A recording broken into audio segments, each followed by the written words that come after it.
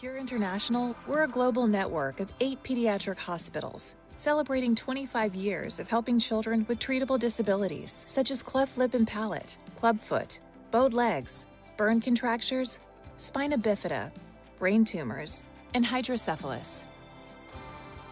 By establishing pediatric hospitals within countries where disability is often prevalent and overlooked, CURE can provide access to continuous care for children in need. CURE also focuses on spiritual care. From outreach to surgery to the last visit, our ministry is determined to share God's love with every patient and family that CURE meets, because knowing God's love brings lasting comfort to those suffering. And because we're all about healing at Cure, we go beyond healing the children and their families by supporting the country as a whole. So children who don't have access to a Cure hospital can still receive world class treatment where Cure trained doctors carry on our mission. By partnering with community churches, national healthcare organizations, and local ministries of health, we help build and empower the healthcare systems of our host countries from the ground up. Cure is the children we treat, the communities we serve, the people we work alongside, and finally, Cure is you, our partners who make it all possible. In the years ahead, we aim to double the number of children we serve because the need is growing, so we have to do the same. That means more surgery, more spiritual care, and more healing for the most vulnerable. You've heard God's call to help heal children who are suffering. It's incredible what's accomplished when we work together under our mission of healing the sick and proclaiming the kingdom of God. Well, I'm excited to be here with all of you uh, this morning. My name is Sterling. If we haven't had the opportunity to meet yet, I am a, uh, our campus pastor at our Mill Creek campus. Um, and we were scheduled to have a ice cream truck over there uh, today. Luckily, it got rained out and postponed because I think it was intentional that Jeff scheduled me to be here this morning when we were going to have ice cream. So um, it is it, Cure is an amazing ministry, you guys, and they're they are doing such a good work, and we have the opportunity through Serve the World today to um, to be to partner with that work. And um, one of the exciting things about this, and, and many of you may know this, is over the last two weeks of our VBS programming, our kids have been raising money for Cure. So as a church, as Serve the World this summer, we have a goal of raising $150,000. And our kids have started us on that process. And over two weeks of VBS, they have raised over $11,000 just coming in from our, I mean, it's amazing. It,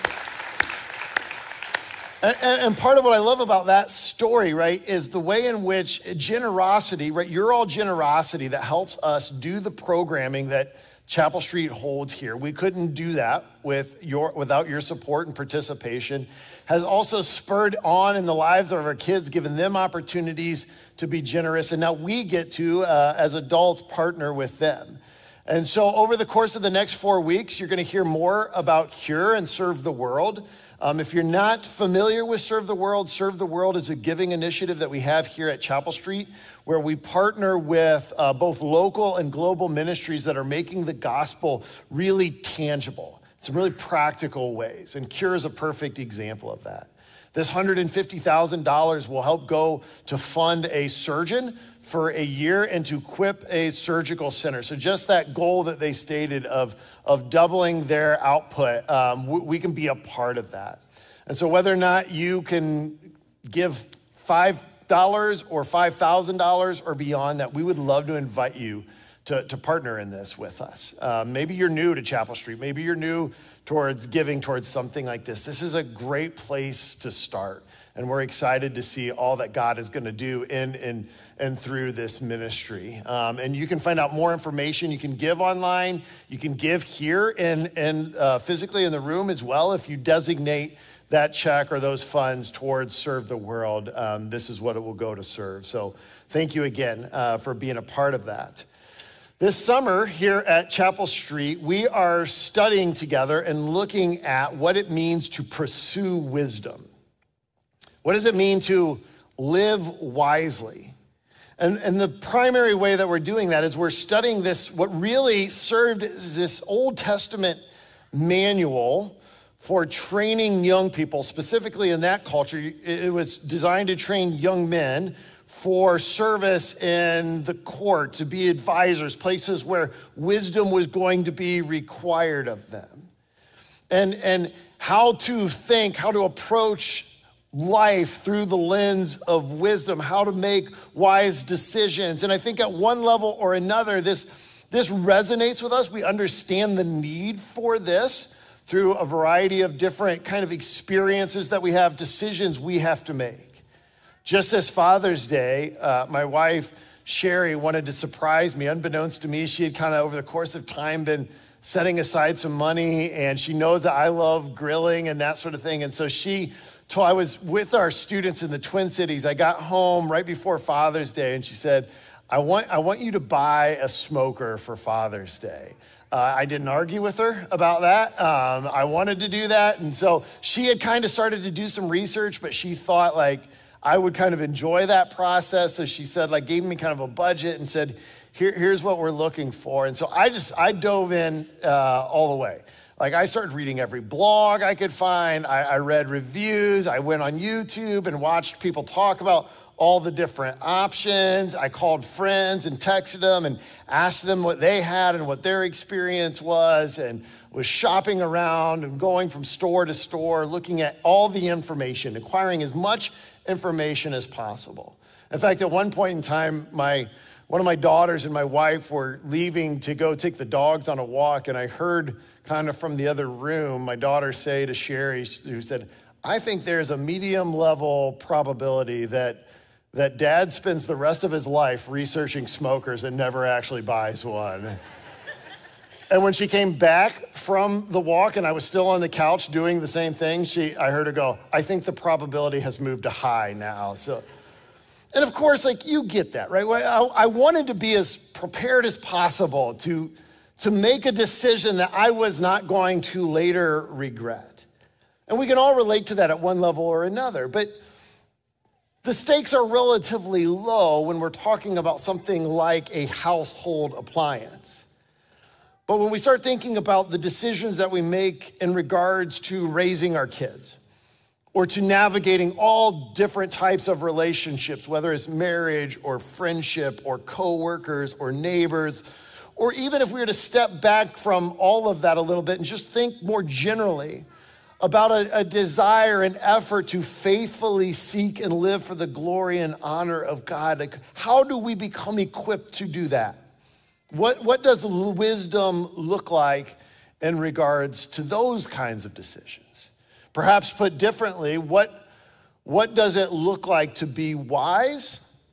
And what does it look like to be foolish? In fact, that is that, that idea, that contrast, that's one of the primary methods that the book of Proverbs uses in order to help teach us what wisdom is. It's this idea of a contrast between being wise and, and being foolish. It describes and, and it defines what foolishness is in order to teach us to be wise. And from the very outset of this uh, conflicting approaches to life, wisdom versus foolishness, the way it's presented in, in this in the Proverbs is it's presented as a choice that we're going to need to make. We're either going to operate and align ourselves with wisdom, or we will operate and align ourselves with foolishness. In fact, in Proverbs, in the introduction, chapters one through nine, where, where we kind of get this big kind of picture of the nature of wisdom, Solomon uses a, a common tool in ancient Near East wisdom literature. He writes it as if a father is writing to his son. And at the end of this introduction, chapters eight and nine primarily, he personifies both wisdom and foolishness as, as two potential spouses that the son is going to new, uh, need to choose between. That either he is going to align himself, attach himself to wisdom, or he's going to align himself and attach himself to foolishness. And so, in the time that we have together today, I want to just I want to spend some time just taking uh, in a couple of these observations, a couple of the ways that Scripture compares and contrasts wisdom and foolishness. And to help form in our own thinking, what does it mean for us to choose wisdom, to align ourselves with wisdom? So if you have your Bibles with you, let's turn to uh, Proverbs chapter 8. This is uh, that section that I was just describing where uh, wisdom is being personified. And in this portion of scripture, wisdom is actually speaking. She's the one describing um, being there at the very formation, creation of the world. So this is Proverbs 8, beginning in verse 22. It says, This is wisdom speaking, and she says, The Lord acquired me at the beginning of his creation, before his works of long ago. I was formed before ancient times, from the beginning, before the earth began. I was born when there were no watery depths and no springs filled with water. Before the mountains were established, prior to the hills, I was given birth. Before he made the land, the fields, or the the fields or the first soil on earth. I was there when he established the heavens, when he laid out the horizon on the surface of the ocean, when he placed the skies above, when the mountains of the ocean gushed out, when he set a limit for the sea so that the waters could not violate his command, when he laid out the foundations of the earth. I was a skilled craftsman beside him. I was his delight every day, always rejoicing before him. I was rejoicing in his inhabited world and delighting in the children of Adam. So here we have this personif- personification of wisdom and the principle, the contrast that Proverbs begins to set up between wisdom and foolishness is simply this is that wisdom will align itself with God's created order and foolishness attempts to create its own.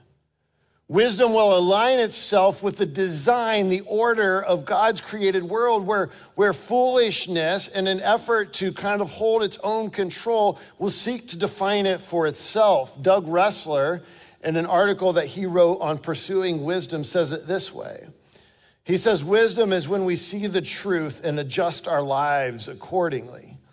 Foolishness, on the other hand, is when we demand that truth adjusts to our reality.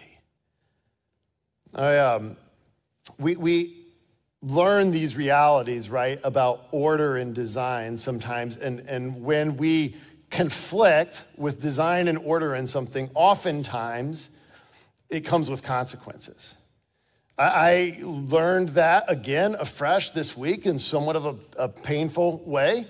I, uh, I was working on, on one of our cars, Sherry's car, and, and was doing a project that I felt comfortable with. I was changing the, the front brakes and rotors. And, and yet, while I was doing this, it's like one of those things where it's like while I'm here kind of thing. And I had ordered some other parts, and, and I was like, I'm gonna, I'm gonna do this uh, pulley that was making noise. I wanted to replace it. Anyways, I dove into something where it was late in the day. Okay, so I was already tired. That was, that was mistake number one. Um, and I started to take apart this part.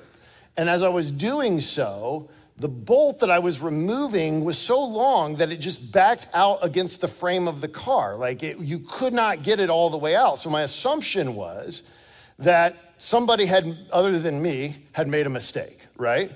So I, I took a sawzall and I just cut the, I know, I, I, this is a mistake number two at least. I, I cut the bolt in, in half. Um, and if you've ever worked on cars before, like oftentimes the nuts and bolts, it's not like you just run over to Ace Hardware and, and pick this thing up, okay? So after I've done this, I realized that there was a second bolt, and had I not just cut that bolt, you just had to remove this second one, the whole mechanism drops out and everything would have come out. But instead, I spent two hours driving to a Honda dealer that was like what felt like a million miles away to get this one singular bolt. I had parked our car like where it was half in the garage and half out. So there was no option of like, I'll wrap this up tomorrow kind of thing. And the next thing you know, it's midnight. I'm, I'm under the car and I, I'm not happy, as you might imagine. All because I didn't, I didn't recognize that the good people of Honda had a way of designing this. Of ordering this. I, I ignored it altogether and it came with consequences. See, why does Solomon describe wisdom as present at creation? Why is she there? Because wisdom operates in accordance with God's order and design. The wise, it's saying, will acknowledge this. They'll align themselves to this design, and foolishness, in contrast to that, will ignore it. Right? We, we understand this perhaps most intuitively, just it comes to like physical order. We, there's a phrase, a saying, right? Like, don't, don't spit into the wind. Like the physical realities. When, when I was a Moody student one time, uh, one of our, my friends like had a, a pepper spray thing and decided kind of on a whim just to like press the button. And it was right into the wind and blew it right back into all of us, right? Like that was that was a bad day if you've ever been pepper sprayed before. Because you ignored just the physical realities and as much as those are important to understand, it's equally true of the moral and spiritual order of God's created design. For example, God created us you and I, to relate to each other in truth. Ultimately, because He is truth, because he, he personally relates to us in truth, and because He designed us to bear His image. So when, when we lie to each other, or when we begin to believe lies from each other, the inevitable result of that is, is going to be relational consequence. There's going to be damage that's done because we're not operating according to our design. There's broken trust that begins to, to be formed. And then on top of that, right, if, if I begin to lie so frequently, or I'm holding on to a lie so tightly, my own capacity, my own ability to recognize and to acknowledge truth and to discern a lie as opposed to truth becomes limited, it becomes hampered or damaged. Right? Wisdom is saying here, I was there when God formed the earth. When he established the boundaries, I know the way God designed you to work and to live, to be in relationship, to experience his love. I know how it's intended to function. And so the invitation of wisdom is align yourself to me. Because in doing so, you are aligning yourself to God's ultimate design and order. There's another aspect of, of this, this reality, this contrast, that I think we need to acknowledge in this conversation. If you, if you are anything like me, one of the frustrations that you may feel when you're studying Proverbs is that you want these statements that are made to come with guaranteed outcomes like guaranteed results. But as we've talked about before, Proverbs are principles, they're not promises. You see, one of the other realities that wisdom will acknowledge while there is an order and there is a design in creation, it also recognizes that we live in a broken world. That there is fallenness that we experience all around us. So even in our own efforts and attempt, albeit them imperfect and incomplete, to live according to wisdom, we can still experience the brokenness and the pain of, of a fallen world. Now, this was the, the issue that, that Job ran into in the counsel from his friends. The assumption that they were making, if you remember this story, when Job is in the midst of just dire suffering and loss. The conclusion that they come to is that there has to be some unconfessed sin in your life, Job, or otherwise, right? You would not be experiencing these things. They, they, they want to acknowledge order and design, but fail to acknowledge fallenness and brokenness in the world. But we have the benefit when we read Job of having this kind of greater perspective and seeing all that is unfolding, but the friends don't recognize that. They fail to acknowledge that. And so the wisdom they apply to him actually becomes foolishness. Despite all of this, right, wisdom invites us, it encourages us to align our lives with him. While we will still experience brokenness in this world, wisdom says don't make it self inflicted. Don't make it that of your own doing. Which brings us then to this, this second contrast, this second principle that, that we see between wisdom and foolishness. And that is simply this that wisdom receives correction and foolishness rejects it. Wisdom receives correction while foolishness has a tendency to reject it. In fact, this idea is all over Proverbs. Let me just give you a, a few examples. Proverbs chapter 12, verse 1. Whoever loves discipline loves knowledge, but the one who hates correction is stupid. Like I wasn't even allowed to say that word when I was a kid. Like, but Proverbs goes right after it, right? Chapter 15, verse 5 The fool despises his father's discipline, but a person who accepts correction is sensible.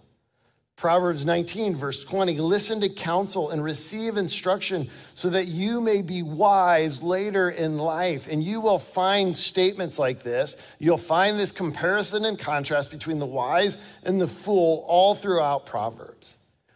And notice right away that when we consider these verses and we think about this contrast, one of the principles, one of the realities that emerges here is that wisdom is something that needs to be acquired that it's something that needs to be learned, gained.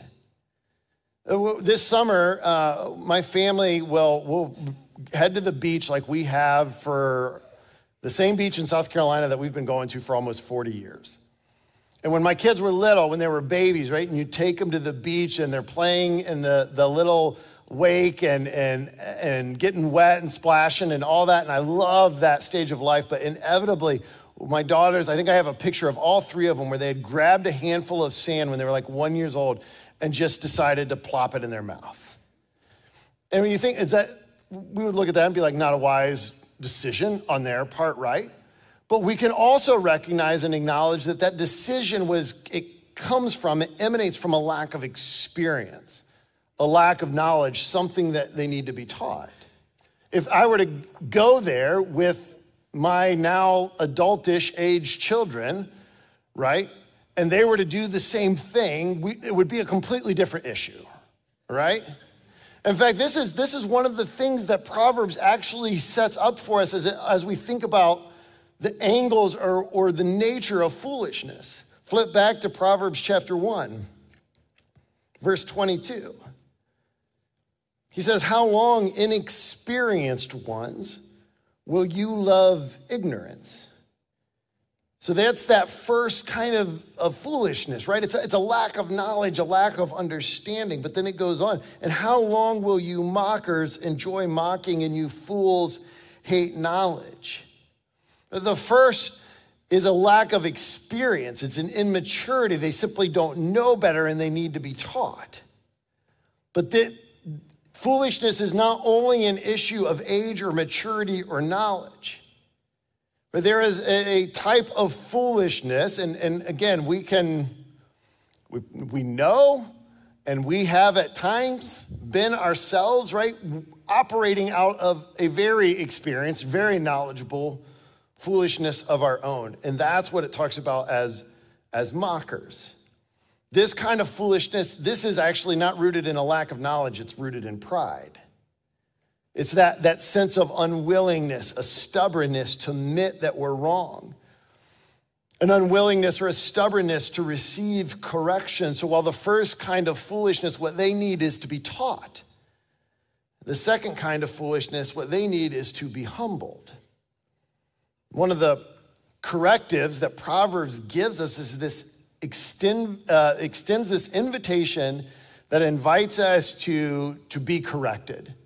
But we will only accept that invitation if we are willing to recognize our own need for correction. I think one of the indicators, one of the hallmarks that, that I am operating out of kind of this second type of foolishness, the, the one that's born out of my own stubbornness and obstinance, is, is when somebody brings or I'm confronted with some kind of correction, and my immediate knee jerk reaction to that is defensiveness. Right? Or if, I, if, if my response to that is I immediately began to create excuses, if I begin to talk about why that's not what's really going on, if, if correction comes and I'm incapable of receiving or accepting responsibility, right, then it's, it's to me, it's an awareness and understanding that I'm kind of landing in that, that second place where I've dug in my heels and I'm gonna do things my way.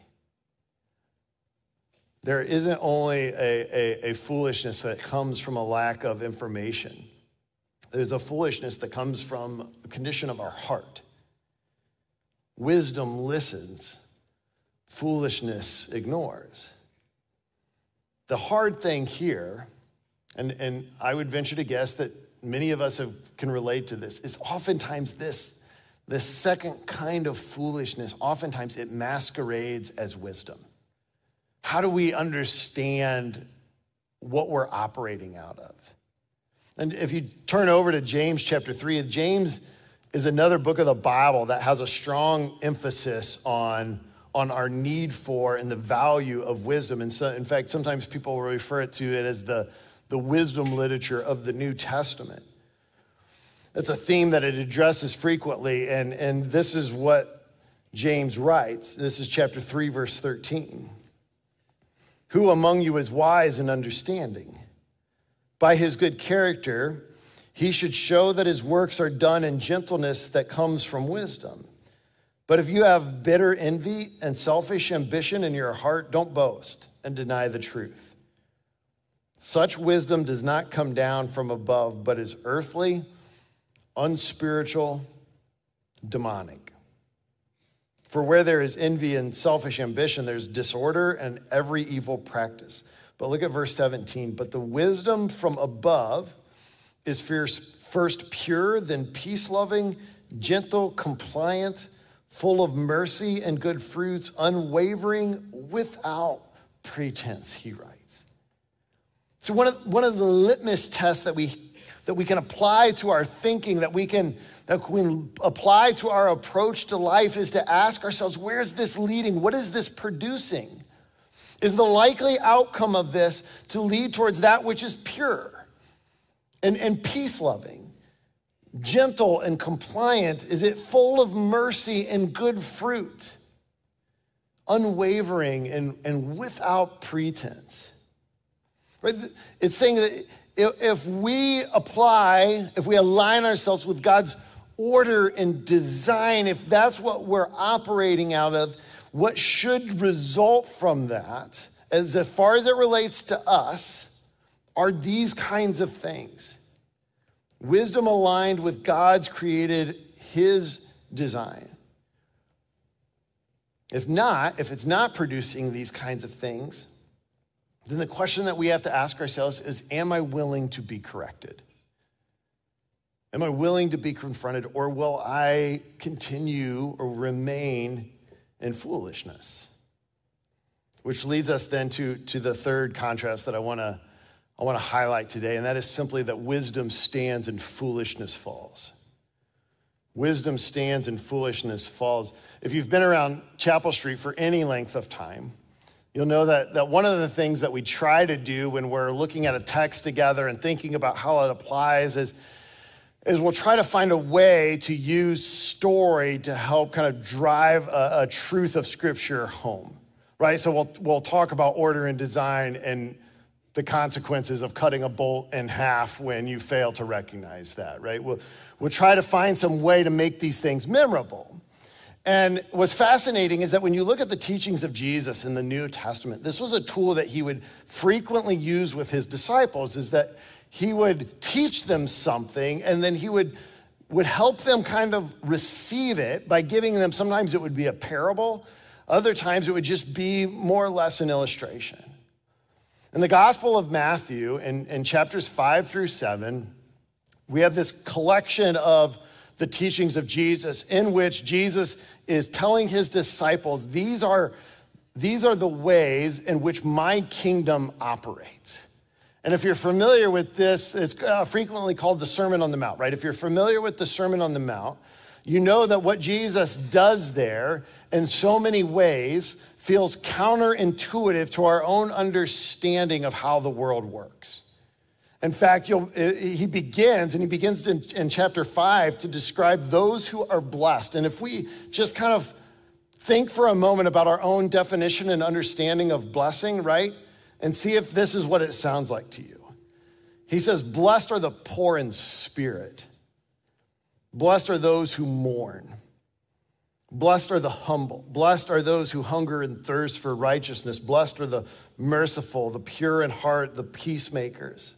Blessed are those who are persecuted because of righteousness. And he goes on like this. And he begins to take our, our understanding of what it means to be blessed and he, he completely flips it on itself. And he goes on from there. He says, if somebody, if somebody were to strike you on one side of the face, you should turn to them the other. This is his way in his kingdom, right? And he says, if, if somebody's persecuting you, if you have an enemy, you should pray for them. That's typical standard wisdom, right? He goes, lay down your worry time and time and time again. Jesus reorients us around his vision and his kingdom.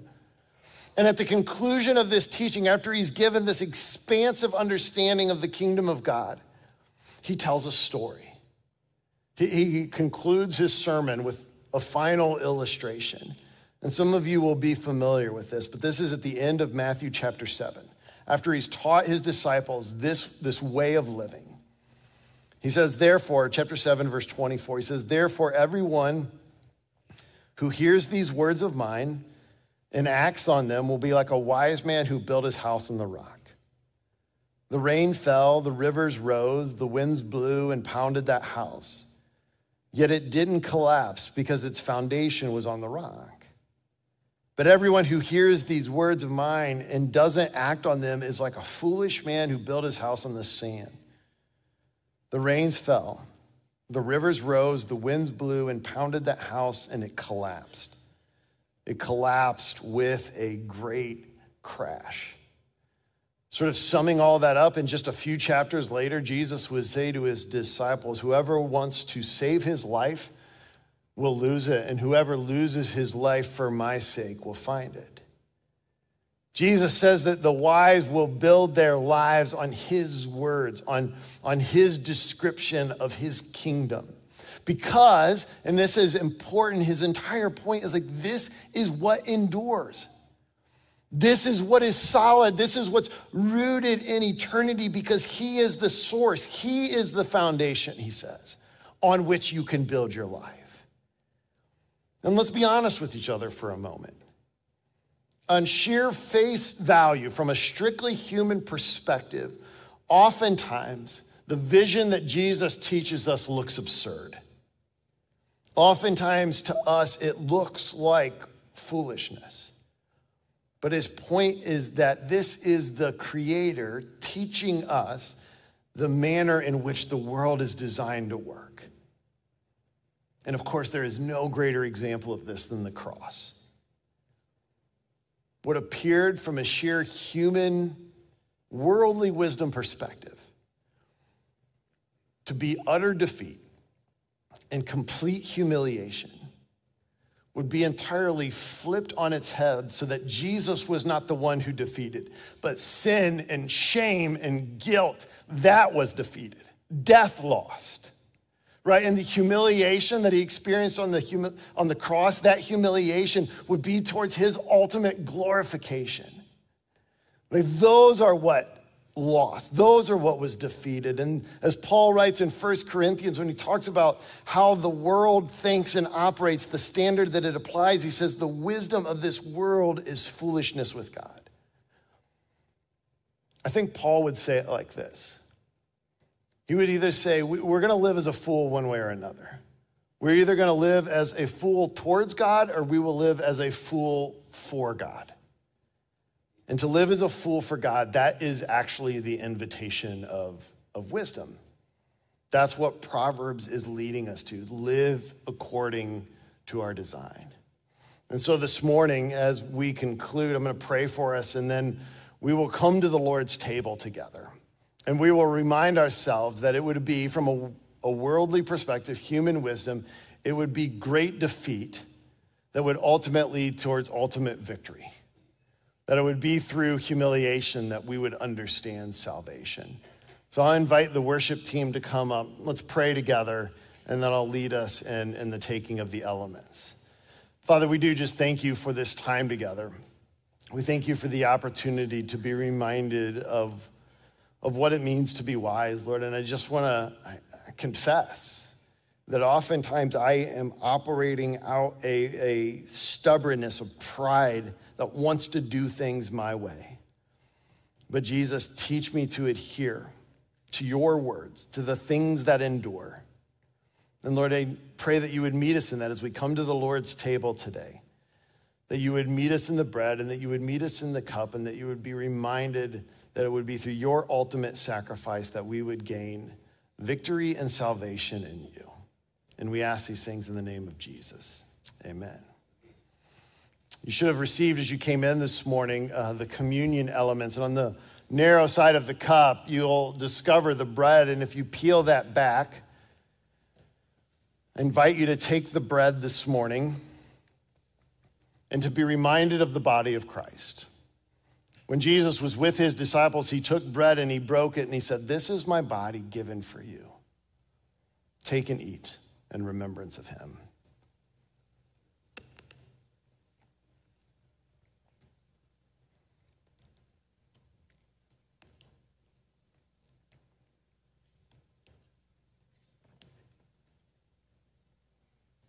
And then he took the cup. And he said, This cup is my blood.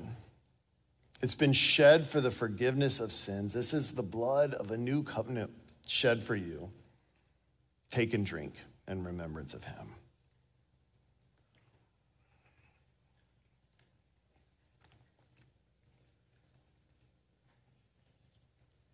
Amen. Before I offer this morning's benediction, if we can pray with you, just know that it's an honor and a privilege to do that. Our prayer team is available in the glass room. You'll find out there in the lobby.